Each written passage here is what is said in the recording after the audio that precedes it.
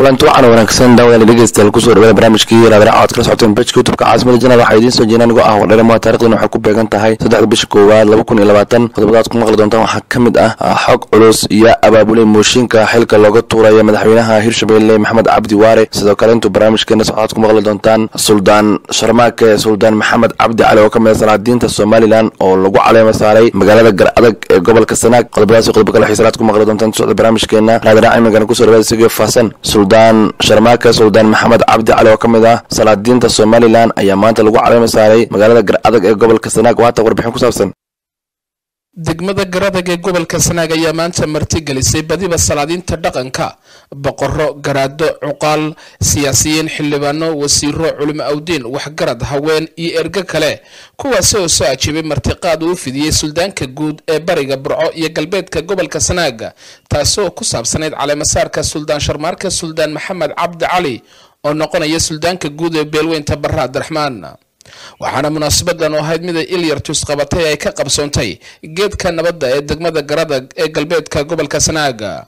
Munaasabadda ayaa ahayd mid hanaankeeda dhicitaan si heer saraa loo soo agaasimay waxaana suldaan sharmaarke suldaan maxamed oo ahaa suldaanka goobtani lagu caleemasaarayay markii uu soo gaadhay madasha ay ka dhacaysay munaasabadu waxaa halkaasi si ballaaran ugu soo dhoweeyey bulshada kala duwan ee ku dhaqan degmada garadag kuwaasi oo soo buuxdhaafiyey agagaarka goobta ay munaasabadu ka dhacaysay suldaan cabdilaahi suldaan cali muuse suldaanka guud ee beelweynta bariga burco iyo galbeedka gobolka sanaaga.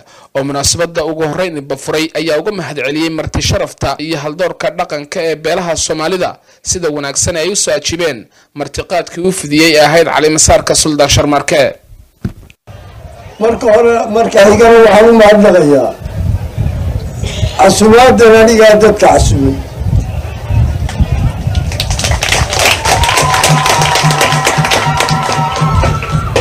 waxaan idinku salaamayaa mar haddii aad jiibteen casimaadii aan idin casibay ee dhulka badan ka timaadeen ee kharashka badan isa saarteen ee ixtiraamteen waxaan idin ilaaho garan maayo wax weliba waa ila qariyaryihin ilaahay waxaan idinka baryayaa ilaahay inuu dembigiina dhaafo iyo kii waalidkiinba. Barasaabka gobolka sanaag maxamed caalin tiimbaro oo madasha ka hadlay ayaa ergada ku soo dhoweeyey guud ahaan gobolka sanaag. Suldaan sharmaarke suldaan maxamed. Waxaan leeyahay ku soo dhawaada gobolka.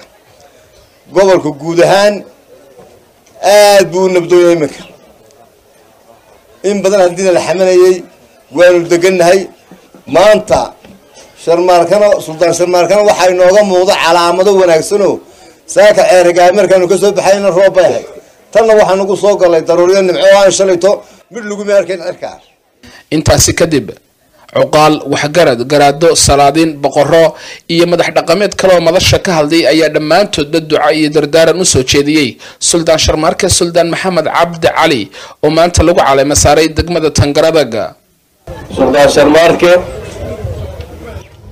waxaa halkan u yaallaa maanta waa in loo duceeyo.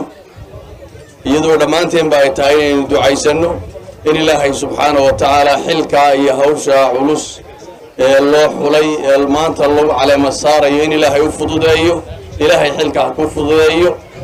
Raggii kaa horreeyay ee joogana qofna damaadad ma haysta ilaahay dhammaanteenba haynoo fududeeyo. Waxaanu kugu ducaynayna xilkan ilaahay ku fududeeyo boqortooyadiisa ama saldadeenu caleemasaarana ma aha bare reer bare cabdiraxmaan muuse maaha.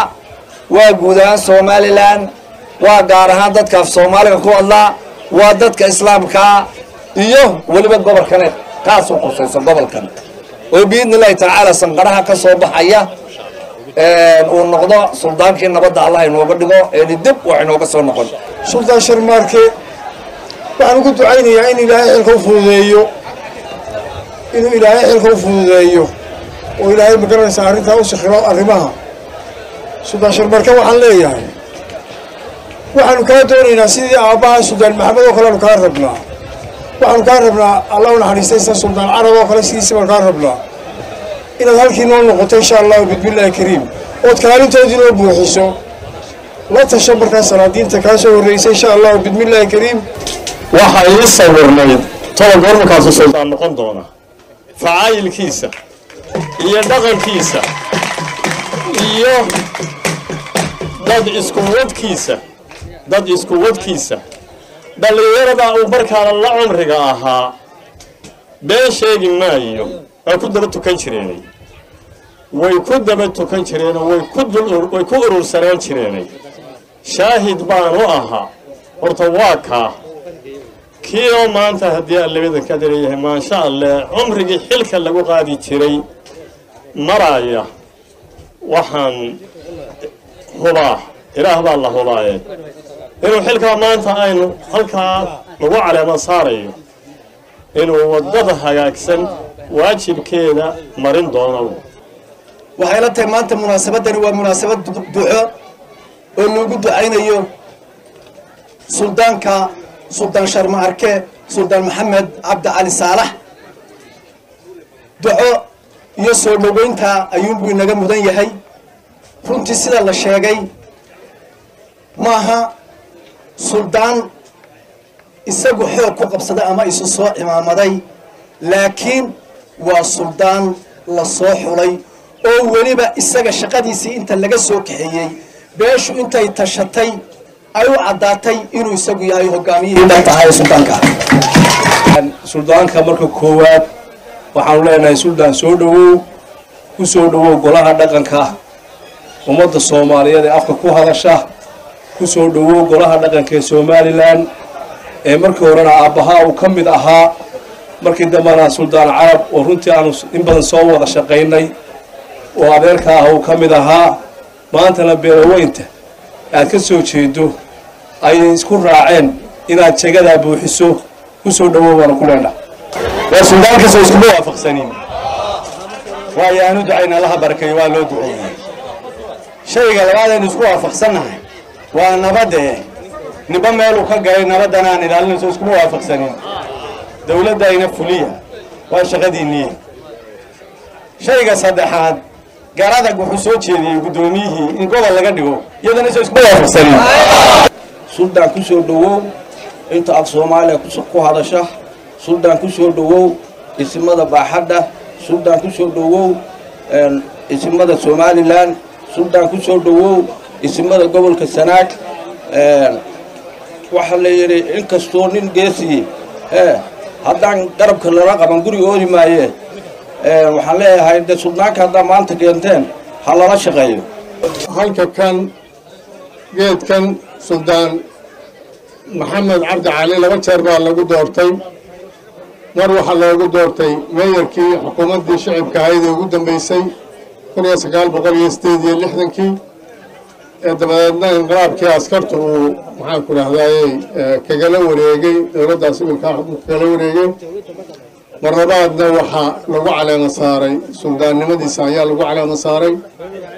Carab cabdi cali oo walaalkii ahaay oo ka dambeeyena waa lagu caleema saaray. Alxamdulilahi rabbilcaalamiin maantana in sharmaa suldaan sharmaarke suldaan maxamed cabdi cali oo aan ehelkiisa dhow ka mid ahay sharaf iyo karaamana ay ii tahay inuu inankaygu mar labaad madasha saldanadda reer cabdi cali uu yimaado. Kelmadda saddexaadna waa iga dardaaran aan jecelahay inaan xarafkan aadka farta waaweyn loogu xardhay ee barre cabdiraxmaan ee uu suldaankoodii guud noqday aan dareensiiyo. Runtii waan idiin mahad celinayaa marka hore inaad si cilmiyaysan oo xigmad leh oo sharaf iyo karaamo leh aad u xulataan qof wax hagi kara hogaamiye noqon kara hiddo iyo dhaqanna u leh inaad xulateen oo aqoon ku xulateen waan idinku mahad celinayaa. Waxaynu u hambalyaynaynaa suldaanka la caleema saaray. Waxaynu soo ajiibnay dacwaddii suldaan cabdulaahi suldaan cali uu inoogu yeedhay. Salaantaasaanu la nimi mar labaadka waxaan doonayaa inaan haddii ilaahay kidmo waxaan salaan ka sidaa. Guddoomiyaha xisbiga ucid injineer faysal cali waraabe oo shalay ka dhoofay magaalada hargeysa harumar baa bini aadmiga la gaarsiinaya harumarkana dhallinyaradeenana laga rabaa. Nabadgelyadaynu ka shaqaynaynaa suldaankana waynu la shaqaynaynaa suldaanka guud suldaan cabdilaahi suldaan cali muuse aad iyo aad baan ugu mahadnaqaynaa maanta inuu suldaankana isagoo halkan caleemasaarkiisana uu marti qaaday maantana aynu isaga u macsuum nahay oo aynu maxaanku idhaahdaayey halkan uu nagu marti qaaday markaa waxaan leeyahay suldaanku waa suldaan barre abdiraxmaan saasaanu kula shaqaynaynaa arrimaha gobolka. Gobol inaanu hello isku saageersannahay cabdirasaaq siciid ayaan laa dhegta ii saaro wuxuu yidhi weliba gobolkiina ku dar. Wuxuu yidhi ragoo laba suldaan laba sarkaan laba sadaandoona. Ka sallima misena kee sallima suuro geli mayso. Rag ilaahay soo sobsaday saa ku geli maayo. Mar haddii suldaankii barre abdiraxmaan halkaa la dhigay wasiirka iyo gobolkaba waxa weeyaan meesha u socdaan waa garanaysaan intaasi kadib suldaan sharmaarke suldaan maxamed cabdi cali oo isagu maanta munaasabadani lagu caleema saarayey ayaa madasha soo afmeeray reer garadag sida aa u shaqayseen ee sharafta badan sidaa noo qaabisheen noo soo dhaweyseen haddii dee faanku faanku bannaan yahay waa idinku faani lahaa maanta. Laakiin faankaan bannaanayn ilaahay wuxuu yidhi fi lqur'aan alkariim walaa takun mukhtaalan fakhuura in allaha laa yuxibu man kaana mukhtaalan fakhuura markaa faanku ma bannaano waa idinku faani lahaa ilaa khayr haydin siiyo haydin barakeeyo intaasi kadib suldaanka guud ee beelweynta bariga burco iyo galbeedka gobolka sanaaga suldaan cabdilaahi suldaan cali muuse ayaa waxa uu caleema saaray islamarkaasna uu ku caanashubay suldaanka guud ee beelweynta barre abdiraxmaan suldaan sharmaarke suldaan maxamed cabdi cali madashan ayaa ka mid noqonaysa madalo dhaqama iyo salaadiin kala duwan oo lagu caleema saaray geedka nabadda ee degmada faca weyn ee garadag waa hagaag daawada dhegeysta welina waxaan guda jirnaa qaybihii hore barnaamijkeena. Raadaraha iminkana qodobka waxaa noqonaya xildhibaano ka tirsan baarlamaanka maamulka hirshabelle ayaa waxa ay gudoomiyaha baarlamaanka maamulkaas ku eedeeyeen in uu gadaal ka riixayo mooshinka ka dhanka ah madaxweyne maxamed cabdi waare. Wasiirka dib u hirshabelle kana mid ah xildhibaanada maamulkaas ayaa sheegay in mooshinkaas uu qayb weyn ku leeyahay gudoomiyaha baarlamaanka hirshabelle cusmaan barre maxamed. Waxa uu sheegay in mooshinkaas ay sidoo kale qayb ku leeyihiin wasiiro ka tirsan hirshabelle iyo xildhibaano ka tirsan dowladda federaalk islamarkaana aan waxba ka jirin isaga oo baaq u diray gudoomiyaha baarlamaanka iyo xildhibaanada hirshabelle waa tahay daawal dhegeysta guud ahaan xansunoga barnaamijkii raadina codka socotan bejka youtubeka caasimada janaa fadlan haddii aa bejka custin subscribe noo saara si warbixinayan dambe ula socotaan mahadsanidin